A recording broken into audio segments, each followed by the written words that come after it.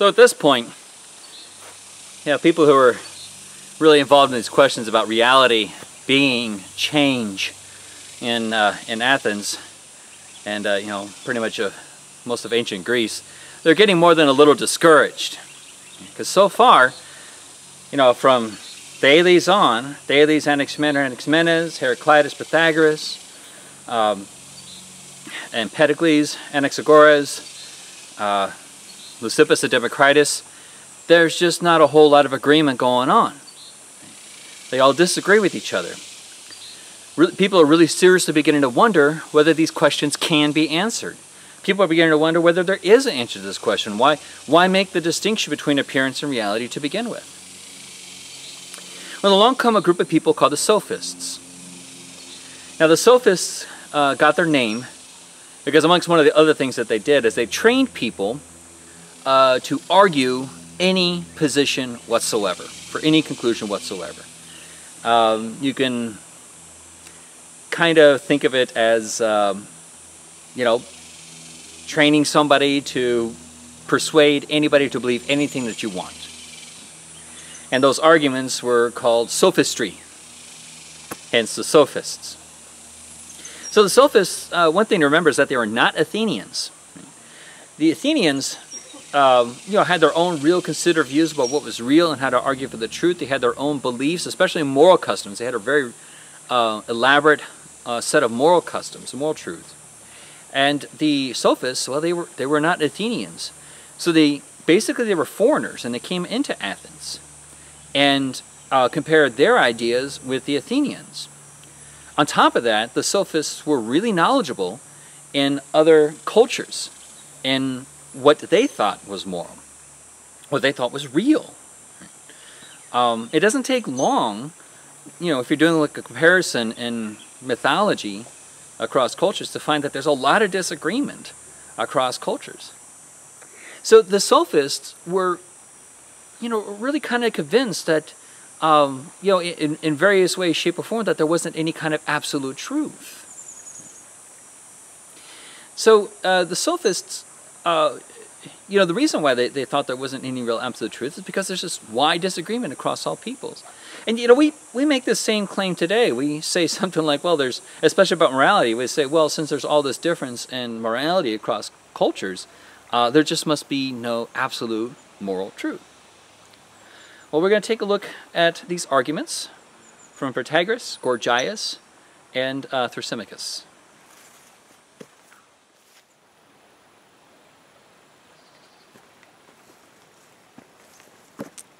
If you think there aren't any nice natural areas around Texas or around San Antonio, you're not looking hard enough. The first sophist we're going to look at is Protagoras. And Protagoras argues uh, is that everybody is right. Right. Everybody has every belief that they have is true. And again, this this kind of follows from, or you know, it's associated with this idea that there is no absolute truth. In fact, he's going to argue that since everybody's right, there is no absolute truth. Uh, the way that he uh, does this is he relies heavily on the idea that our knowledge, all of our knowledge, comes from perception. So I'm looking around me now, and I see trees, I see water, I feel the air, it's warm, it's humid, and these are my perceptions. And that's how I come to knowledge about the world.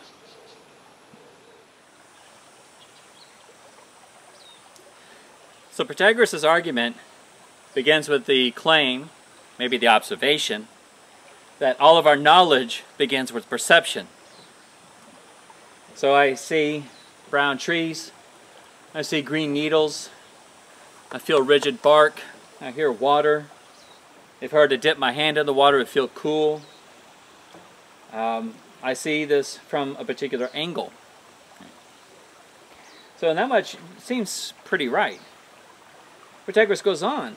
He says, look, people have different perceptions.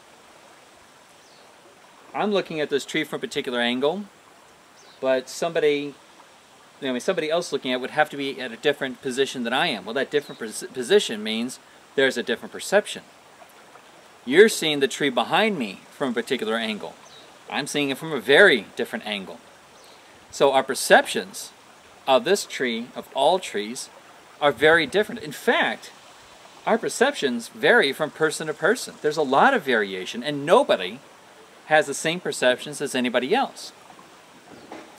I mean, there's lots of you know contemporary evidence that shows this is true. You know, for instance, I'm slightly colorblind, and I have, I have color deficiency. I can't see as many colors as you do. So, uh, my perceptions of what's going on around me are going to be different than yours simply because you see more colors. You know, even uh, perceptions of what's true, if they are perceptions at all. Our perceptions of what is true varies from person to person. Nobody has an identical set of beliefs about the world around them. So, since our knowledge begins with perception and this perception varies from person to person, we don't have any test to see who's right. We don't have any way to determine whose perception is the right one. If there's no way to determine whose perception is the right one, really doesn't look like a way to distinguish between appearance and reality. Right? We just have our perceptions. Mean, there's no reality to match up to them. Well, if there's no way to test who's right, well, Protagoras says, well, that means there's no absolute truth. Since there's no way to determine who's right, there is no right. There's no absolute truth. There's an absolute truth, there's just what you believe. There's what you get from your perceptions, and that's all you really need. That's all you need to know. So, this is an extreme claim. Everybody is right. You might wonder if you agree with that.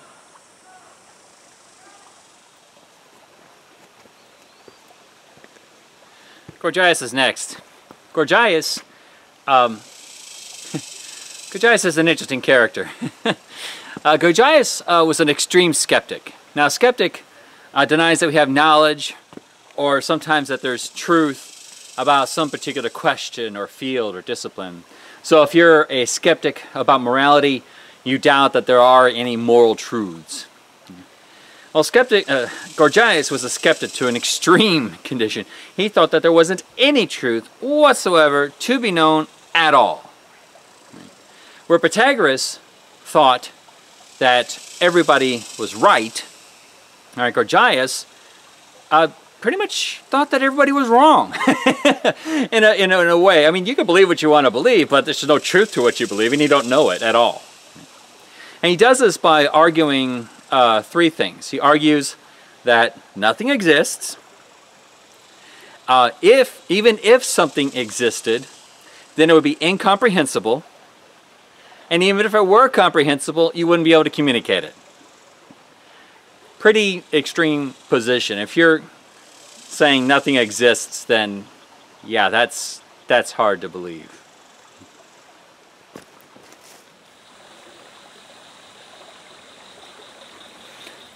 Well, how's Protagoras going to do that? Well, remember he's arguing that nothing exists. Even if it did exist, it's incomprehensible. Even if it were comprehensible, you wouldn't be able to communicate it. Well, let's start with how he does this. He, he, well, the way he does this is he does kind of a reductio. So to do a reductio, remember, uh, you assume uh, you assume the proposition that you want to show is false. You assume that it's true. So he starts by assuming something exists. You agree with this assumption. You know, you think at least you exist. Well, uh, if, you know, we also think that, well, if something exists, uh, then we can comprehend it. Right? So I'm looking around me, I see trees. There's, you know, there's this tree right here. This tree exists, and I, I can comprehend it. I, I know things about the tree. It's tall, it's rigid. It uh, uh, has its own metabolism. It uses the water. So I know things about the tree. Well, how do I know things about the tree? Well, we got, you know, Protagoras in the background here. Gorgias says, look, if we know something, we know it only through perception. Right? We know it only through perception. And it, you know, it, it seems pretty right, right? I mean, uh, physical sciences go about their business by using observation. Um, I don't, uh, you know, my mind does not have access to the tree. Right? I can't use my mind, send it out to touch the tree and, and then to understand it. No, I have to use perceptions. I have to use sight, sound, smell, taste, touch. Well, guess what? If you're using perception to know the thing, what you know are your perceptions. You don't know the thing itself. And seems like he's right here. Um, I, I, have access to my perceptions. My mind has access to my perceptions. My mind does not have access to this tree. You know, the, the tree uh, is something distinct from my mind. If I were if I were to be able to know the tree without using perceptions, you know, I could just close my eyes and use my mind to contact the tree, and that doesn't happen. The same thing with the water and the sky. The you know the bugs that I hear right now, they're making that, that buzzing sound. Uh, my mind can't access those bugs. I don't even know where they are. I can only hear the sound, and I know it's you know it's happening around that away. Well, so if if what I know are the perceptions and not the thing, then what I'm comprehending are the perceptions. I'm not comprehending the thing. My mind doesn't have access to the tree. That's not what I'm comprehending. What my mind has access to are the perceptions. Well, what happens now? Well, I, I started with the presumption that uh, if something exists, then I could comprehend it. So I conclude that I can comprehend it. But now it looks like by the way I comprehend things, I don't actually comprehend these things. I comprehend my perceptions, but not the things themselves. Well, with that in place, I've drawn a contradiction. So, it's false that something exists. It's also false that even if it did exist, that I comprehend it. Well, I couldn't comprehend it because I know the perception, is not the thing. So just with that one single stroke, with dealing with existence and comprehension and perceptions, Gorgias has wiped out existence, and even if it existed, we couldn't comprehend it. Ouch. Well, if I don't exist, I don't know what I'm doing here.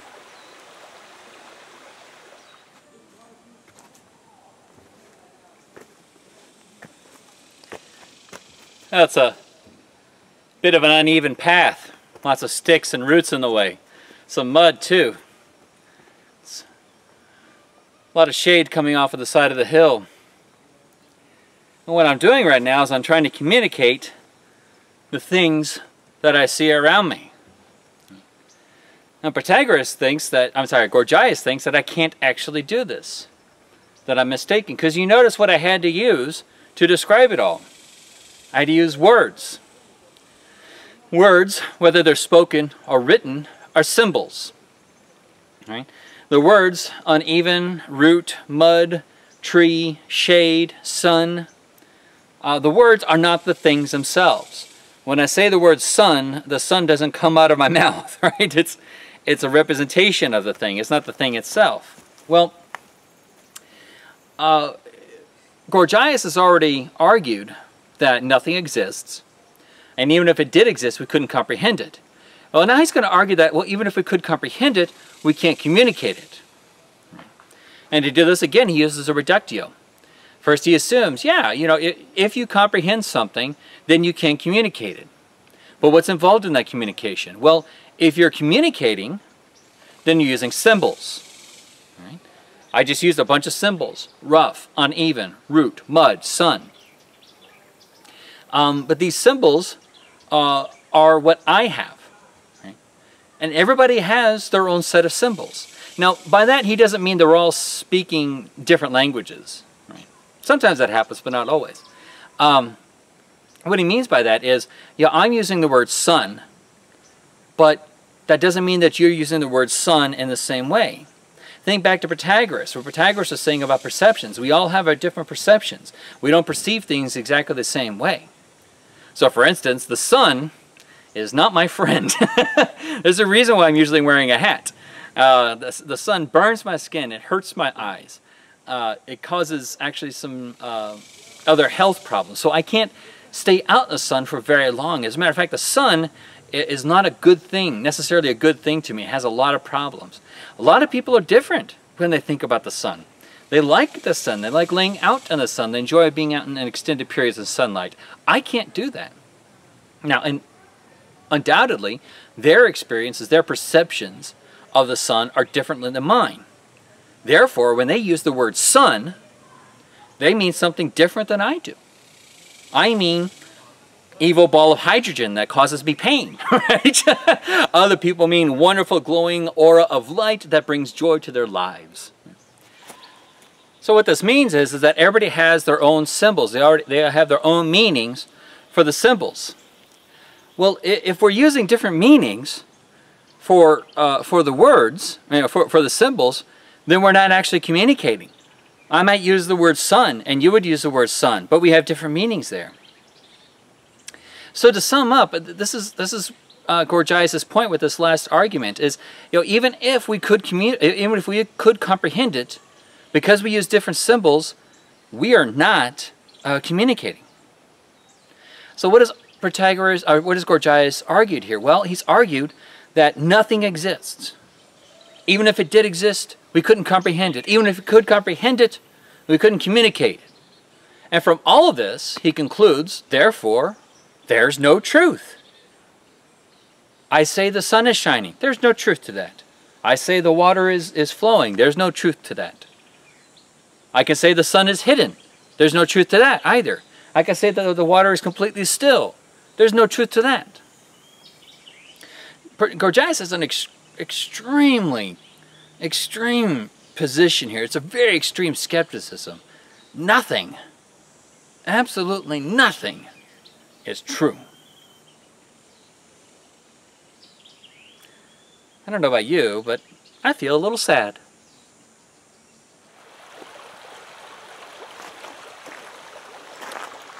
The last sophist we're going to look at is Thrasymachus. And Thrasymachus argues for a kind of moral relativism. Now, moral relativism will say, well, moral claims are true uh, or false depending upon some condition. So, uh, for instance, cultural relativism says that moral claims are true depending upon what the what the what the custom says, what the what the um, culture says. So, for instance, um, it's uh, uh, contrary to our custom to swim in this river without a swimsuit. If you did that, you get arrested and people would scorn you. um, however, that custom is not always the case, depending upon where you go. Other cultures not only uh, think it's perfectly acceptable to swim in rivers in the nude, but sometimes it's expected. Well, Thrasymachus uh, offers a kind of moral custom, but he, he tags on something to it. So he starts off with the observation that uh, moral customs vary from culture to culture. And that's true, right? It doesn't take very long to uh, figure that out. Um, and, you know, especially if uh, you have roots in more than one culture, you know this is true.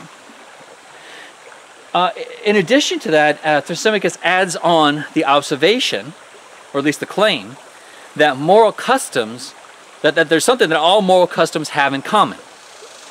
And what they have in common is that they benefit those in power.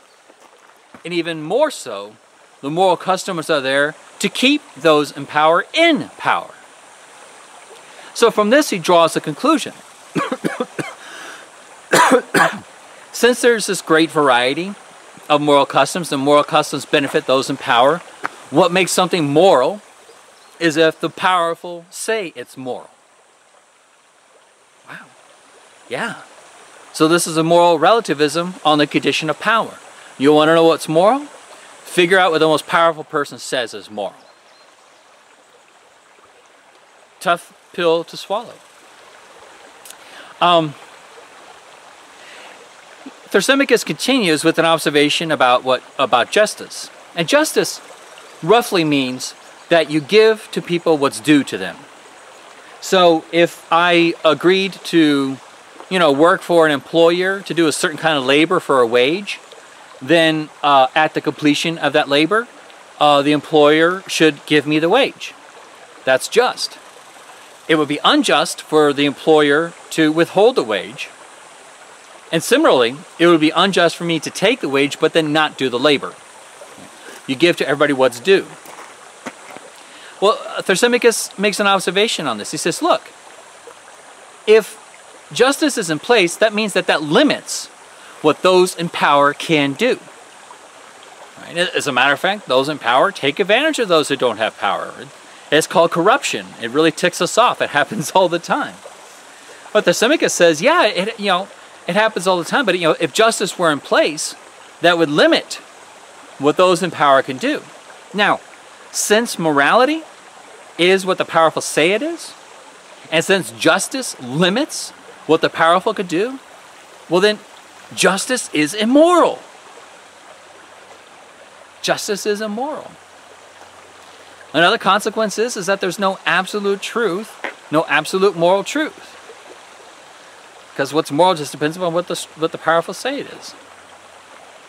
So this is another extreme position. I mean, most, there's a lot of people who have some pretty strong tendencies towards cultural relativism. Um, but to say that what the powerful do just is what's moral, that's tough.